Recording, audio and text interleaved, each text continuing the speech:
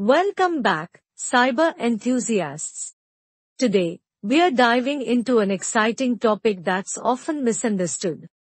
Cyber security versus information security. We will explore their similarities, differences, and why both are crucial in today's interconnected world. Let's get started. First things first, let's clear up any confusion. Cyber security and information security are often used interchangeably. But they are not quite the same thing. Think of them as close siblings in the vast realm of protecting our digital assets.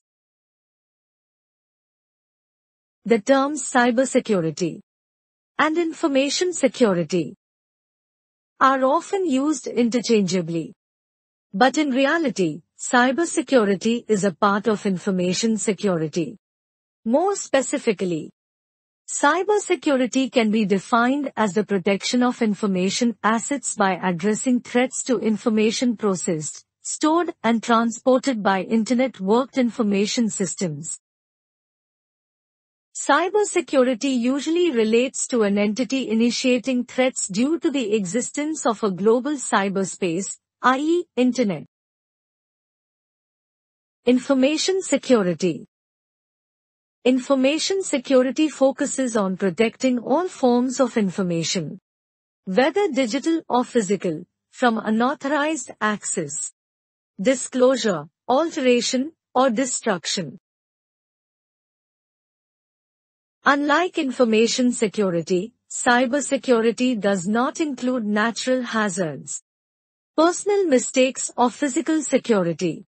To put it even simpler, if we remove offensive and adversely human behavior threats coming through interconnected systems, cybersecurity would not be an issue, and information security alone would be sufficient. Now let's understand the differences more. Information security deals with information, regardless of its format. It encompasses paper documents, digital, and intellectual property in people's minds, and verbal or visual communications.